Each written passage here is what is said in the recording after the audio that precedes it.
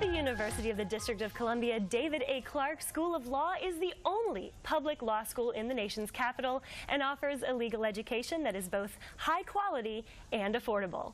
And here with more about why you should choose UDC is Dr. Shelley Broderick, the Dean of the UDC David A. Clarke School of Law. Welcome, Doctor. It's so nice to have you with us. Tell us a little bit about the UDC Clarke School of Law and, and why it's unique and different.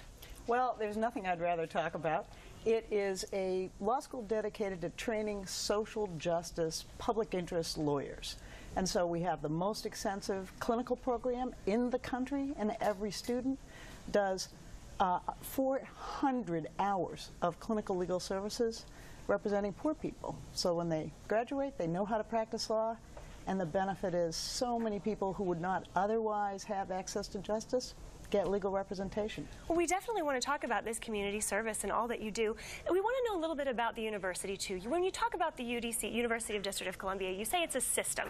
Why is it a system? Starts with the community college, then there's a pathway directly to the four-year flagship, and ultimately to some of the graduate and professional school programs. So it's a whole system that takes you all the way through to a career. It's a whole system that's really doing a lot right now. You've, you've been in the news a bit, and you've that community service you were talking about. Tell us a little bit about why we might have heard of you lately. Well, there are a number of things. A, a team of our students um, during exams wanted to defer one exam to go to Baltimore uh, to be legal observers, to make sure, keep the calm when, when all of the unrest over Freddie Gray's uh, death blew up. Um, they did teach-ins at the high schools. They researched the habeas corpus uh, relief and helped 80 people get out of jail who had been locked up and kept there way longer than they should be under the Constitution. Um, you know, they're agents of change. They really care very deeply, our students. Another team of our students right now is on a service learning trip. Uh, they're on the border between Texas and Arizona uh, helping the women and children who are in detention centers there um, awaiting some kind of immigration ruling uh, that allows them to come be safe in this country. That's really great work. Let's also talk about an accolade that you all have recently achieved. Music to my ears. Uh, ranked seventh in the country for outstanding clinical programs by U.S. News and World Report, ranked second for outstanding diversity in the student body. Those are the two things we do, so we're enormously proud to be recognized nationally. You have so many innovative programs. There's so much for anyone that wants to go to law school here. Are there any particular programs you want to talk about that we haven't shared? Wow, I could get in a lot of trouble here, but we have an immigration and human rights clinic. We have a legislation clinic. One of our graduates of the program uh, just got uh, elected uh, as a member of the D.C. Council. And other graduates serve throughout the council as chief of staff, legislative counsel, um, changing progressive laws, making law happen. Uh, we have a juvenile clinic where we're helping to stop the pipeline from school to prison. Uh, so many kids get in trouble and trying to keep them out of uh, the system and in school where they belong.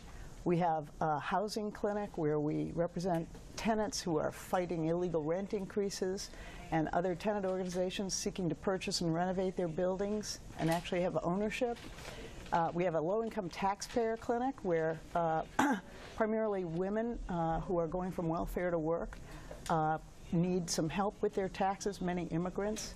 Uh, we represent seniors, we represent uh, people in poverty throughout the city. I mean, our ultimate goal is to end poverty and inequality, and that's a full-time job.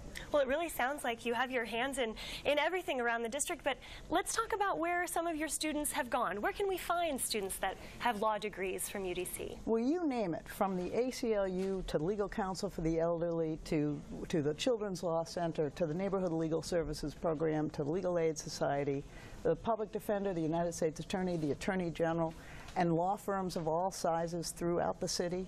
Um, we have students who go into the LLM programs in tax or in trial advocacy. We have students uh, throughout the country and, in fact, the world. I just got back from China where I met with an alum who's Regional Asia Counsel uh, for one of the big $400 million pharmaceutical companies. And I'm meeting another in Cuba uh, who, who's a human rights lawyer. So if we have students at home that are interested in any of these programs and doing some of these wonderful things, where can they go to find out more and how to enroll? Go to the UDC David A. Clarke website and get in touch with Vivian Canty, the best admissions dean on the planet. Thank you so much for being with us and Thank- for telling us all about UDC's law programs. There's more Let's Talk Live, so don't you go away.